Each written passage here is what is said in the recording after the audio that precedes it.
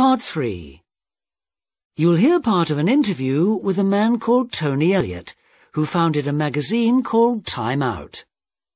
For questions 15 to 20, choose the answer A, B, C or D, which fits best according to what you hear. You now have one minute to look at part 3.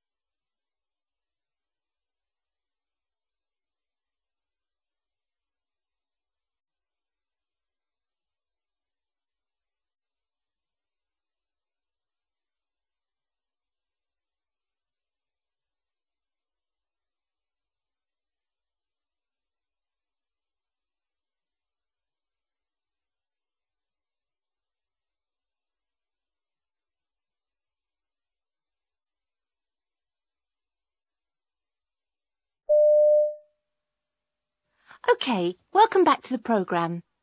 Well, for the hundred thousand or more people in London who buy every issue, Time Out is an invaluable guide to what's going on in the city. In its lists they can find everything from films, plays, concerts and nightclubs to exhibitions, sports, opera, dance and special events. And I'm talking now to Tony Elliott, the man who started it all, back in 1968. Tony, what gave you the idea? Well, back then it was very hard to find out about those things. Uh, there were magazines. There, there was a magazine called What's On, which was a weekly, which is still around, mm. rather kind of conventional in its approach. And you could look in the evening paper, or you could look in the music press, um, yeah, to get information. Mm-hmm. But nothing covered everything all in one place. so I uh, perceived there was a gap, and I suppose, well, to some extent, I just produced a magazine for myself. And it turned out uh, a lot of other people wanted the same thing. Mm. At first, the magazine was just a sheet sold hand to hand in the street, wasn't it? Well, I, I started with a few like-minded people, and we did actually put it into newsagents. People do seem to think we started as a, a bunch of idealistic amateurs. but uh, I have to say that I think we were actually pretty professional from day one.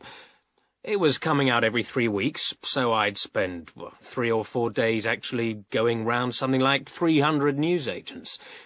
The selling in the street was partly to do with getting copies sold so that we actually had some cash — but it also had this kind of inbuilt market research thing, uh, you know, where you'd show people what you were doing and they go, oh, really?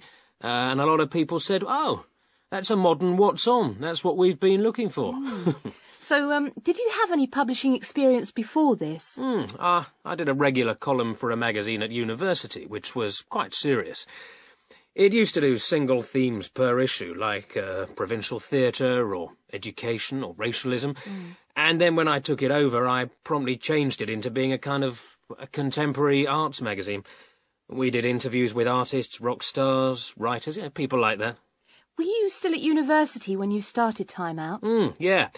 Technically, I was actually on holiday for the summer vacation, and as far as the university was concerned, I was supposed to be going to France to teach. Mm-hmm.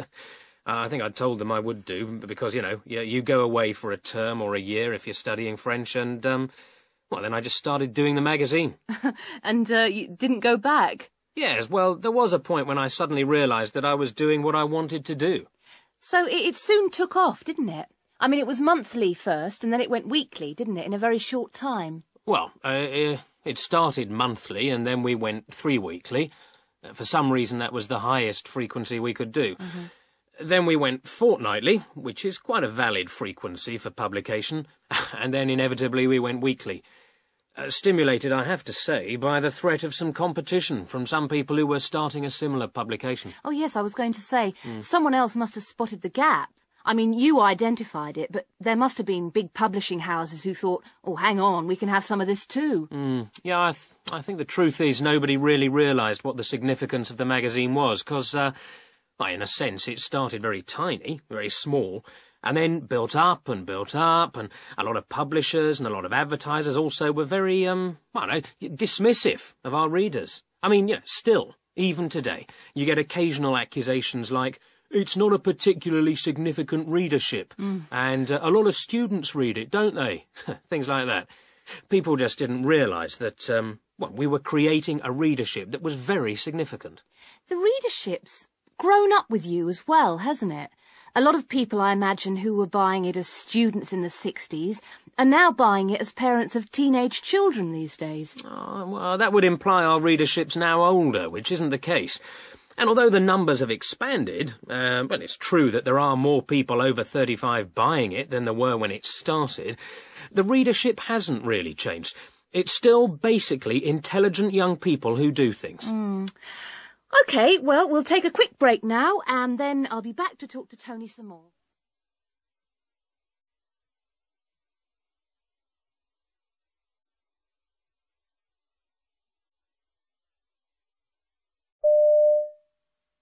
Now you'll hear the recording again.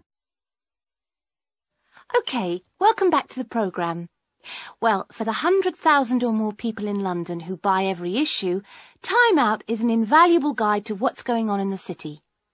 In its lists, they can find everything from films, plays, concerts and nightclubs to exhibitions, sports, opera, dance and special events. And I'm talking now to Tony Elliott, the man who started it all, back in 1968. Tony, what gave you the idea? Well, back then it was very hard to find out about those things. Uh, there were magazines. There, there was a magazine called What's On, which was a weekly, which is still around, rather kind of conventional in its approach. And you could look in the evening paper, or you could look in the music press, um, yeah, t- to get information. But nothing covered everything all in one place. so I uh, perceived there was a gap, and I suppose, well, to some extent, I just produced a magazine for myself. And it turned out uh, a lot of other people wanted the same thing. At first, the magazine was just a sheet sold hand to hand in the street, wasn't it? Well, I, I started with a few like-minded people, and we did actually put it into newsagents. People do seem to think we started as a, a bunch of idealistic amateurs. but uh, I have to say that I think we were actually pretty professional from day one. It was coming out every three weeks, so I'd spend well, three or four days actually going round something like 300 newsagents. The selling in the street was partly to do with getting copies sold so that we actually had some cash. But it also had this kind of inbuilt market research thing, uh, you know, where you'd show people what you were doing and they go, oh, really? Uh, and a lot of people said, oh, that's a modern what's on. That's what we've been looking for. So, um, did you have any publishing experience before this? Hmm, uh, I did a regular column for a magazine at university, which was quite serious. It used to do single themes per issue, like uh, provincial theatre or education or racialism.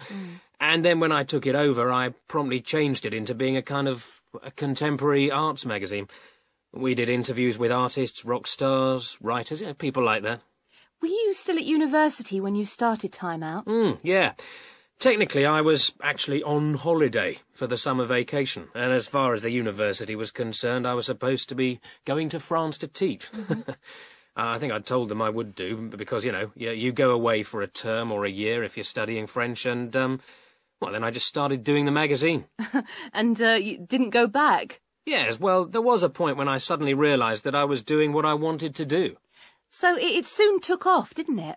I mean, it was monthly first, and then it went weekly, didn't it, in a very short time? Well, uh, uh, it started monthly, and then we went three weekly. Uh, For some reason, that was the highest frequency we could do. Then we went fortnightly, which is quite a valid frequency for publication, and then inevitably we went weekly. Uh, stimulated, I have to say, by the threat of some competition from some people who were starting a similar publication. Oh, yes, I was going to say, someone else must have spotted the gap. I mean, you identified it, but there must have been big publishing houses who thought, oh, hang on, we can have some of this too.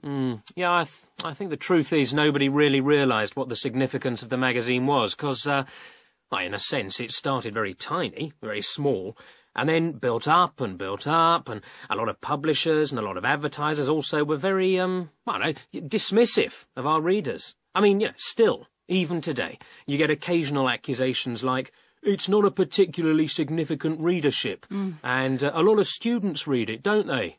Things like that. People just didn't realise that, um, well, we were creating a readership that was very significant. The readership's grown up with you as well, hasn't it? A lot of people, I imagine, who were buying it as students in the 60s are now buying it as parents of teenage children these days. Oh, well, that would imply our readership's now older, which isn't the case. And although the numbers have expanded, uh, well, it's true that there are more people over 35 buying it than there were when it started, the readership hasn't really changed. It's still basically intelligent young people who do things. Mm. OK, well, we'll take a quick break now, and then I'll be back to talk to Tony some more.